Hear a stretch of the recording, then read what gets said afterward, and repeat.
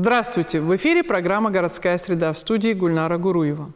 Судя по всему, Новый год принесет нам немало сюрпризов, связанных с ЖКХ. Повысятся ли цены на жилищно-коммунальные услуги? Как получить субсидии и сколько нужно будет заплатить за газ и отопление? На эти и другие вопросы ответит сегодня наш гость. Начальник отдела лицензирования Госинспекции Республики Дагестан Магомед Шамхалов. Здравствуйте. Магомед Рамазанович, расскажите, пожалуйста, планируется ли рост цен на услуги ЖКХ в наступающем году? Назовем его правильно, она называется индексация э, платы, вносимые гражданами за коммунальные услуги. Она индексируется ежегодно. Индексация происходит э, второе полугодие э, текущего года, будем говорить так. Э, индексация в следующем полугодии с января месяца не ожидается.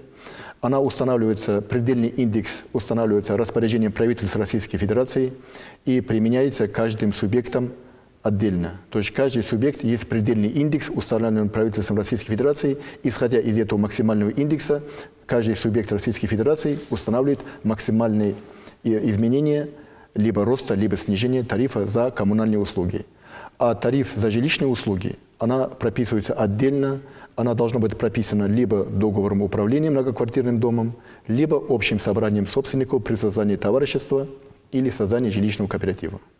А что представляет собой государственная система ЖКХ? Э, государственная информационная система ЖКХ – это один из подразделов государственных сайтов государственных услуг, созданный на более узкие цели. Эта система была создана федеральным законом 209 в 2014 году эта система предусматривает размещение информации органами власти, э, ресурс, органами местного управления, ресурсоснабжающими и управляющими компаниями, а также администраторами общих собраний всей информации о жилищно-коммунальном хозяйстве.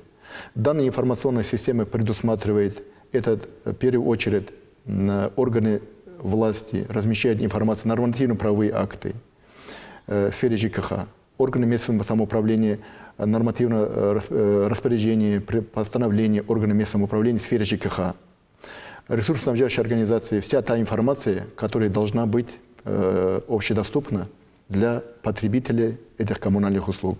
И, соответственно, управляющие компании, такая же управляющая компания товарищества и жилищные кооперативы также размещают необходимую информацию по управлению многоквартирными домами.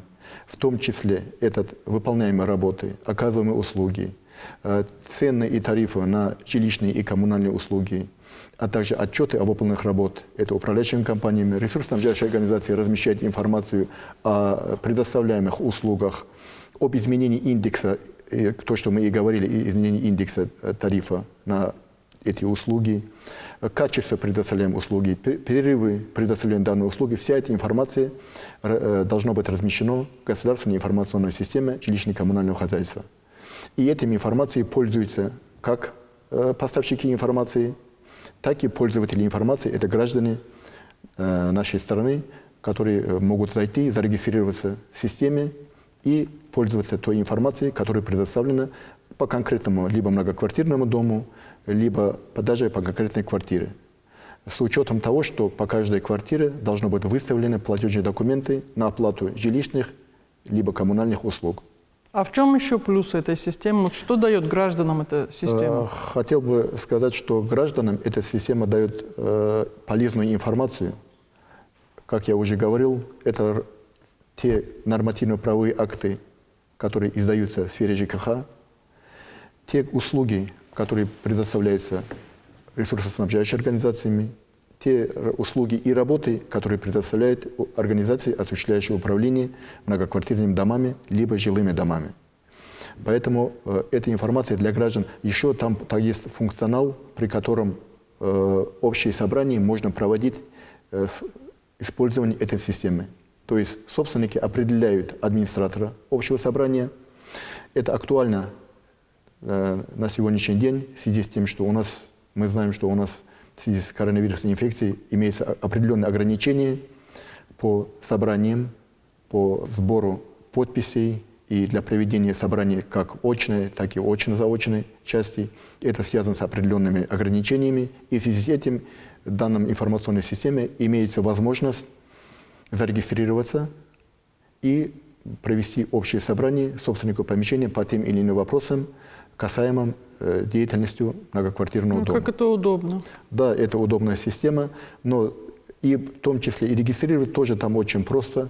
Через единую систему идентификации, аутентификации собственник регистрируется, там вносятся персональные данные этого собственника, э, и через свой логин и пароль он заходит и видит всю информацию, касаемую предоставления либо жилищных, либо коммунальных услуг, и конкретно по конкретному лицевому счету на этого абонента. Начисление, необоснованные начисления или же пе- перерасчет. Делать все можно э, обеспечивать через данную систему. Она дает большие возможности в наше время, вре- э, именно в период вот этой пандемии, э, пользоваться этой системой, а также оплачивать услуги за полученные коммунальные либо жилищные услуги через эту систему. Это онлайн, да? Да, онлайн-платежи, так называемые онлайн-платежи, он может оплатить через эту систему. Она позволяет провести оплату за полученные услуги через данную систему. А какие изменения в новом году ждут граждан относительно субсидий? Э, э, Вообще э, хотел бы сказать, что субсидии, предоставление субсидий прописано постановлением правительства Российской Федерации номер 761, 761. Данным э, постановлением определен порядок предоставления субсидий гражданам, э, какие документы э, должны предоставлять собственники либо пользователи помещений, э, многоквартирных домах, либо жилых домах. И какой процедура, порядок предоставления данных субсидий. Субсидии, как мы знаем, предоставляются уполномоченными органами, которые определены в каждом субъекте для предоставления данных субсидий. И э, граждане предоставляли все необходимые документы, установленные данным постановлением для предоставления субсидий. Субсидии предоставляются на полгода, и через каждые полгода э, получатель этой субсидии должен был повторно предоставить заявление, предоставить пакет документов для получения, для продления, будем говорить, этой субсидии на последующие полугодия. Но э, недавно внесли изменения в данное постановление, в связи с чем э, с нового года заработает функционал данной информационной государственной информационной системы жилищно-коммунального хозяйства. Введен новый функционал, в связи с чем собственники помещений нету, не будет необходимости э, собирать дополнительные справки, получать квитанции или э, получать документы об отсутствии задолженностей на бумажном носителе. Эта информация автоматически ресурсоснабжающей организации либо управляющей организации обязаны будут размещать на портале ГИС ЖКХ и уполномоченные органы, которые предоставляют субсидии гражданам, они уже будут направлять запросы и в соответствии полученных ответов они уже будут формировать тот пакет документов, необходимый для продления либо отказа продления этой субсидии. Субсидии это связано еще с тем, что э, данный функционал она более э, обеспечивается более достоверной информацией, что исключает э, какие-то справки, которые необоснованные справки, или будем говорить подложные документы, предоставленные подложные документы, она исключает, потому что ресурсоснабжающие управляющие компании будут размещать туда достоверную информацию, и потом изменить эту информацию уже не будет невозможно. Поэтому вся информация, которая размещается, она сохраняется, и она должна быть достоверной. В случае размещения недостоверной информации, соответственно, тот, э, та организация, которая недостоверно разместила, понесет соответствующий законодательством административную ответственность. А где можно будет оформить субсидии? Субсидии оформляются, как я уже говорил ранее, э, уполномоченных органах по представлению субсидий. Это э, уполномоченные органы, определенные в каждом субъекте, это э, управление предоставления субсидий. И ну, у нас, как в республике, является Министерство труда и социального обслуживания населения. Поэтому есть региональные уполномоченные органы, которые муниципальные, горо- городских- муниципальных районов и городских округах, которые предоставляют данный вид э, поддержки. А граждан. документы как? Подавать через МФЦ или... Документы, э, если первичном, при первичном оформлении э, субсидии, э, каждый гражданин пре- предоставляет заявление и документы через многофункциональный центр. Если субсидия уже оформлена, то последующее про- э, пролонгирование этой субсидии ему не нужно будет дополнительно собирать пакет документов. То есть она автоматически продлевается. Постановлением Российской Федерации э, те граждане, которым э, необходимо было предоставить субсидию с 1 апреля по 1 октября, они автоматически продлевалось. И те э, граждане, которые э, истекал срок после э, этот период до, с 1, до 1, после 1 октября, она автоматически продлевается еще на полгода. То есть те граждане, которые в установленном порядке получали субсидию, на сегодняшний день им нет необходимости собирать дополнительные документы и предоставлять эти документы уполномоченные органы по предоставлению э, данной господдержки. То есть она автоматически будет продлеваться на последующие полгода. Но, хотел бы оговориться, только в случае, если с нового года будет заработан этот функционал, если не будет задолженности по оплате за жилищные коммунальные услуги, так, даже коммунальные и жилищные услуги за последние три года. Эта задолженность должна быть подтверждена судебным решением. Что это говорится? Что если какой-то собственник или наниматель в многоквартирном или жилом доме имеет задолженность за последние три года, и эта задолженность подтверждена судебным решением, либо судебным приказом, либо судебным решением, то, соответственно, эта информация должна быть размещена в данной государственной системе. Уполномоченные органы направляют запрос ресурсоснабжающую либо управляющую компанию. Соответственно, те направляют ответ, что за данным гражданином, пользователем, этой, получателем этой господдержки имеется задолженность, то уполномоченные органы обязаны будут отказать данному гражданину в получении субсидии. Поэтому э, э, раньше была возможность о реструктуризации данного долга, то есть они говорили, что мы оплатим какой-то определенный период и оформляют субсидии. Но сейчас данная э, э реструктуризация, она как бы получается не будет действовать, потому что она будет все размещена в информационной системе, и там уже не будет возможности как- как-то реструктуризировать. А если задолженность небольшая у граждан, а смогут ли они оформить субсидию? А, опять, же, опять же, хотел бы вернуться к теме, что задолженность должна быть подтверждена если до суда только... не дошло. Если до суда не дошло, то это не является основанием для отказа. Только подтвержденная судом задолженность по оплате жилищной либо коммунальной услуги за последние три года. В общем, вы довольны работой управляющих компаний? Э, управляющими компаниями довольны должны быть в первую очередь жители многоквартирных домов, управляющими компаниями, ну, как контролирующие да, орган. кон, э, управляющими компаниями, товариществами или жилищными кооперативами. Э, мы знаем, что последний, вот последний период, вот начало отопительного периода, она связана с выпадением обильных осадков, которое принесло немало проблем для управляющих компаний, для товариществ жилищных кооперативов. И в том числе мы знаем, ресурсоснабжающие организации, в том числе и электроснабжающие организации, которые были многочисленные отключения в связи с выпадением осадков, были подтоплены подвальные помещения, протекали крыши, которые раньше как бы не протекали, будем говорить, которые э, как бы выдерживали тот напор воды, который был ранее. Поэтому в последнее время, с началом отопительного периода, и увеличились и жалобы об обращении граждан за отсутствие или э, не предоставление той или иной услуги за последний, э, за текущий год хотел бы озвучить, сколько поступило жалоб и какие именно тематика была этих жалоб. За истекший год, 2020 в Госинспекцию поступило 4894 обращений или жалоб по отсутствию той или иной услуги. Из них наиболее проблемными, наиболее э, такими э, обращениями были это горячее водоснабжение – 259 обращений. По проблемам отсутствия э, и ненадлежащего содержания работы лифтов 162 обращения. Начисление за, э, то есть на необоснованное начисление э, за жилищные коммунальные услуги. То есть основная проблема жильцов тоже связана с необоснованными начислениями за предоставлением жилищных либо коммунальных услуг.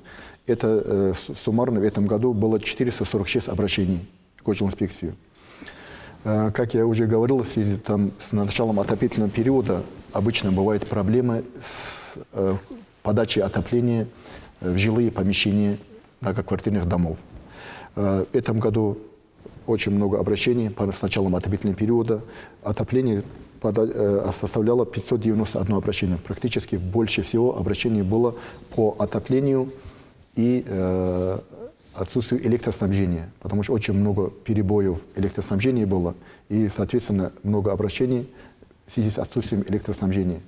Также очень много обращений по некачественному содержанию общего имущества. 484 обращения только за этот период э, 2020 года поступило э, обращение по некачественному содержанию общего имущества. То есть это и показывает, что управляющая компания не работает надлежащим образом, что не выполняет возложенных на нее функций в полном объеме. Какую работу проводит госжилинспекция относительно вот подобных компаний? Госжилинспекция проводит надзорные мероприятия по всем обращениям в связи с тем, что э, 3 апреля текущего года э, вышло постановление, в связи с пандемией вышло постановление правительства Российской Федерации через 38, которое ограничивает проведение проверок за исключением проверок, э, являющихся, но- носящихся угрозу безопасности жизни и здоровью граждан. Данные проверки должны быть согласованы в обязательном порядке с прокуратурой, поэтому э, многие жалобы, которые не подпадают под эту категорию, э, мы направляем в управляющие компании, выдаем соответствующие предостережения, контролируем исполнение этих э, заявлений и, соответственно, обеспечиваем подачу той или иной услуги собственникам и пользователям помещений в данных многоквартирных домах. В рамках обеспечения информации какую работу проводит госжилинспекция вот относительно ГИС ЖКХ? Э, Госжилинспекция осуществляет надзор за размещением информации органами местного управления, ресурсоснабжающими и управляющими организациями, то есть полноту и достоверность размещаемой информации. В рамках контрольных мероприятий Государственная жилищная инспекция выдает предписание либо предостережение э, за неразмещение той или иной информации. Э, 11 декабря руководителем госжилинспекции издан приказ, в котором создана группа по контролю за размещением информации того функционала, который предусматривает предоставление информации по начислению, э, то по предоставлению субсидий гражданам.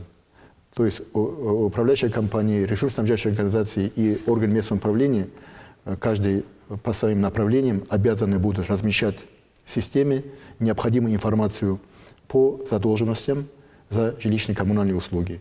Поэтому, чтобы не вводить в заблуждение получателей этих услуг, они должны размещать достоверную информацию. И госинспекции в, в рамках этого э, функционала э, будет проводить полноценную проверку размещения той или иной информации. В связи с этим и была создана группа по контролю за размещением информации приказом от 11 декабря этого года, который будет контролировать соответствующий э, функционал и будет реагировать на те замечания, те нарушения, которые допущены э, соответствующей организацией. А вот сколько управляющих компаний уже лишилось лицензии за все это время?